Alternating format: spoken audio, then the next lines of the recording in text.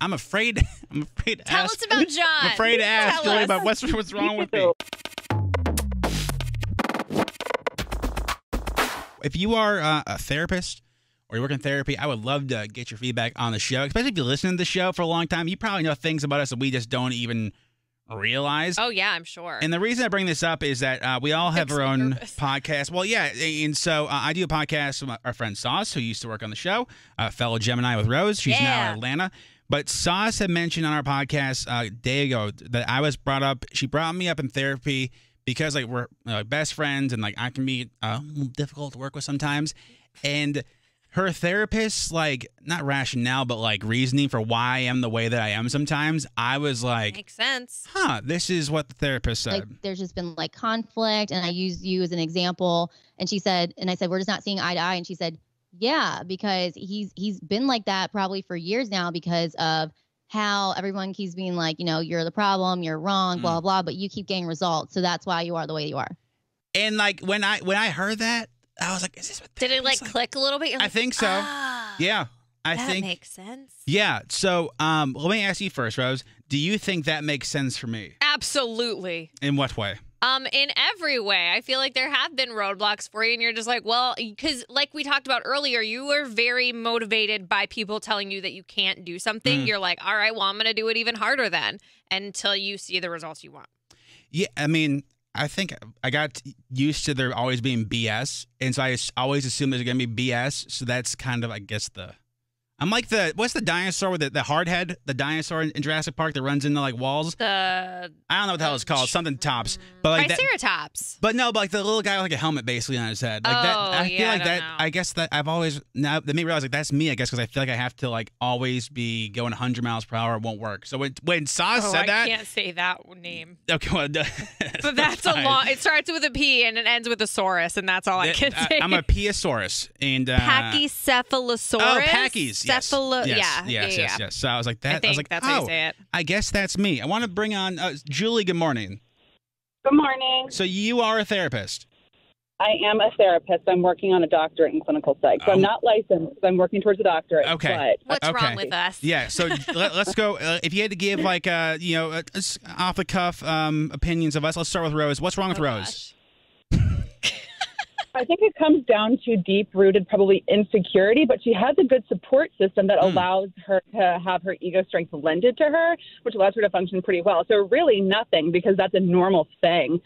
If she didn't have those supports, she would probably look a lot different right now, though. Girl. Oh my goodness. Oh my gosh, yes. Clint always tells me, like, I tell him things from like my past, and he's like, I don't know how you turned out the way you did. Mm, yeah. I'm like, I just have good people, I guess. Julie, what about Erick? Wow.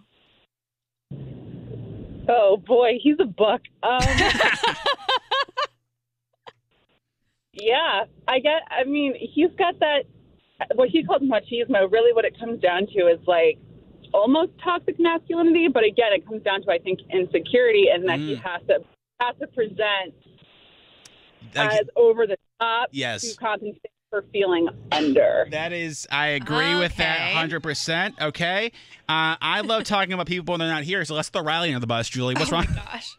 what's wrong with Okay, Riley? well, in general, Riley is a s one of the strongest women I think I've ever heard. Yes. So it's hard to kind of say anything about that. Again, I think it's similar to Rose, whereas like whatever it is going on with her, she has the support system that allows her to compensate. So it's really not worth putting all the effort into like describing all the things wrong because she spent so long building things up to get her to a place where she's good. Mm. So I would hate to throw her under the bus and undo all of that Oh work. no, for sure. I'm just I'm just being uh being IJ. But I- Yeah, that that's so true. like that all um those, all those make perfect sense. I'm afraid I'm afraid to Tell ask, us about John. I'm afraid to ask Tell Julie us. about what's what's wrong with me.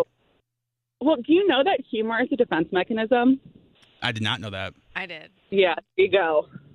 Wait, so what are you saying? I mean, you, I, humor is your defense mechanism. Oh, okay, so that's that's fine. That's not bad, right? Erick's is far worse. The worst. Erick, Erick's is probably the worst. Yeah. So I, I'm. uh, So you would if you had to list like most normal, like I got it most locked up. Is what we're saying. Uh, it's not what I said, but it's interesting you say that. Tell me more about why you think that. I just feel like you're just no. I, I I just feel it so like much. you, there was a bunch of issues, not issues, but uh, this things listed at bullet points. And with your boy, it's like he's funny, and that was like essentially it. But that's not what she said, though. She says it's a defense mechanism. Julie, would you say I'm using humor as a defense mechanism right now? Yes. I think you're deflecting, but yeah, Hmm. that too. hmm. So, th- How do you feel about that? How you want to know what? I I've, I have a lot of feelings about this, Julie. I just I just think that I'm just misunderstood. I really do. It could be, it could be, but think about how it is you're presenting yourself and how maybe you're presenting yourself in a way that others are perceiving you and how that's Hmm. impacting why you're what you're feeling. But Julie, what if others are just wrong though? And and what if they're what if they're just Then your life is going to be really frustrating, and I, Yeah. you know, that's something you're going to have to make a decision you want to work through or not. But Mm. you know, there. This has been Julie. Do we Venmo Dang. you, or do, is this, This covered is by really our awesome. our, our uh, insurance, or how does this work?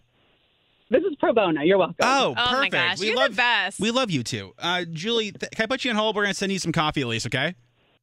Sure. Okay, hold on one second. I well, she hit me like that was uh, na- uh, right on the head, right on the nail, on the the- money. she- I don't know well, what the saying is, no- but no right on the money. no hitting allowed in the studio, Yeah. Rose.